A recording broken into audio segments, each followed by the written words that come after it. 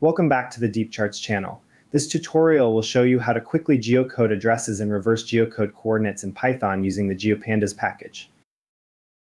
We'll start by setting up our environment by importing the necessary libraries. We'll be using Pandas for data manipulation, GeoPandas for geospatial operations, and Folium for interactive maps. Now, let's perform a simple geocode of a single address. This process will convert the address into geographical coordinates. Here we use the geopandas.tools.geocode function to find the coordinates of a well-known location in Paris.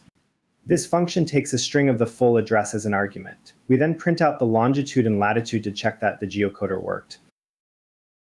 We can take this geocoding operation a step further with multiple addresses. We'll create a data frame with several locations in Paris. After performing the geocoding, we extract the latitude and longitude from the geometry and add these to our data frame. This gives us a comprehensive table of addresses and their corresponding coordinates. With our columns of coordinates now in our data frame, we can now map these locations. We'll use Folium to create an interactive map centered around Paris. By adding markers for each location, we can easily see where each address is situated. Since we now have the coordinates of these locations, we can try out reverse geocoding, which retrieves the addresses based on latitude and longitude.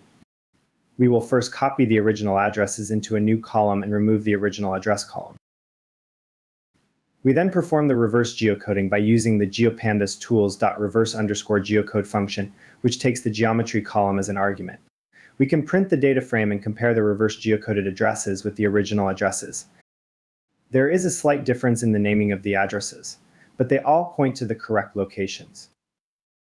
I hope you found this walkthrough helpful. Leave a comment with any questions and don't forget to like and subscribe for more spatial data science videos.